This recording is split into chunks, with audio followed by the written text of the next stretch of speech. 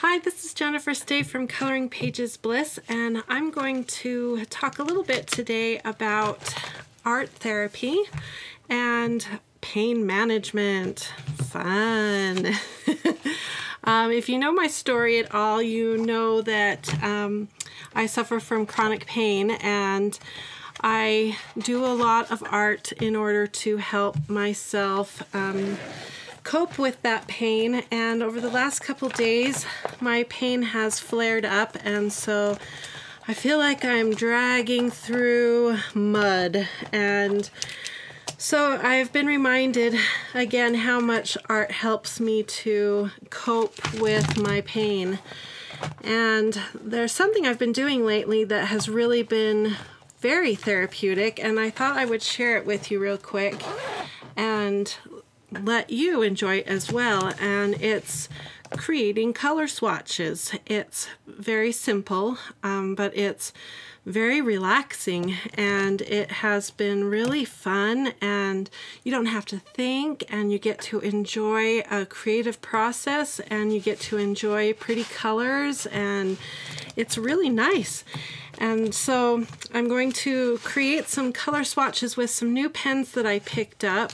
Uh, I went to the art store after a doctor's appointment yesterday and picked up some new Gelly Roll pens. I also picked up a new, let me grab it here, a new white Gelly Roll pen that I'm going to uh, make a swatch out of too that I'm excited to try. And I also stopped in at the dollar store the other day and picked up this new package that I found of gel pens that I want to try too. So I'm excited to make some swatches and show you just how relaxing it is just to lay some ink down onto a paper and um, maybe you can try it too next time you're not feeling good. One of the things I love about gel pens is that they go on so smooth and easily onto your paper and so you just relax and it doesn't take a lot of effort. If your hands are aching, they just go on so nicely. So that's why I like my gel pens. Well, there's lots of reasons I like my gel pens. So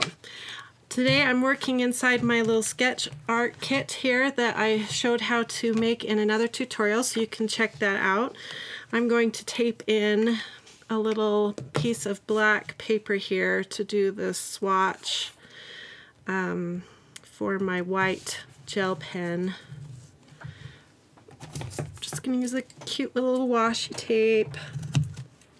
There we go.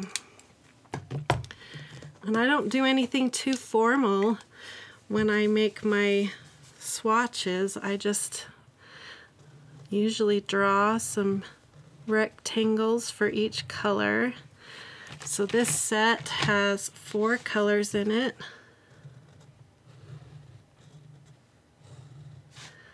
And I, on purpose, I make my rectangles nice and sloppy don't get out a ruler usually.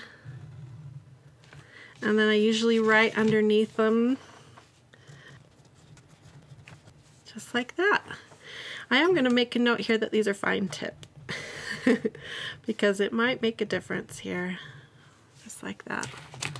And then I have, if I take out my white, I have, there should be six here. There's probably a sixth. I'll have to look for that. Um, yeah, there should be six. So then I have my Gelly Rolls, and I think I'm not even going to draw squares for those. So I'm just going to kind of hit fast forward and let you watch how I make these swatches and you can see how relaxing it is and you can make swatches out of pencil crayon and they're really nice to refer to so you can see kind of what color what colors you have and how good your your tools work. Are they really juicy pens? Are they wimpy pens that need to be thrown into a pile for your kids to use? Or um, are they going to become some of your new favorites? That's what doing swatches will do for you. But when I'm coloring for pain relief, um, if I have a headache or um, I'm aching like I am today, I usually try to relax my shoulders. I take deep breaths. I have um, water nearby to drink, and I don't, I'm not too fussy about the coloring, and I just relax and enjoy the colors and enjoy the process.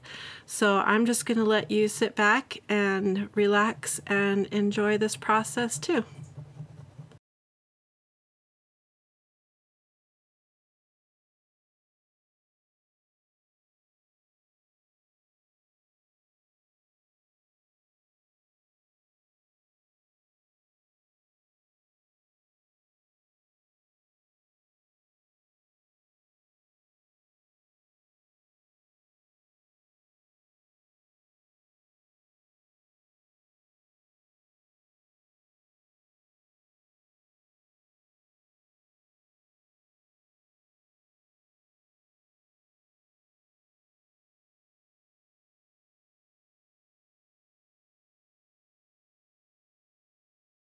Well, I feel much more relaxed. Um, and I think my page turned out really pretty. Um, the dollar store pens, they turned out about what I expected because they're fine tip. They're going to be really great for adding flourishes and little details, but they're not going to be great for coloring because of how much back and forth you have to do to get them to do anything.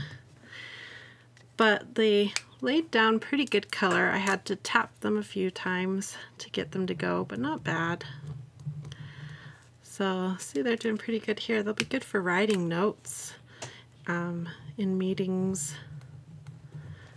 So that's fun. But the gel roll, Gelly Roll pens were really fun to play with. Turned out really pretty. Let me move them in the light so you can see the glitter really good. They turned out really pretty.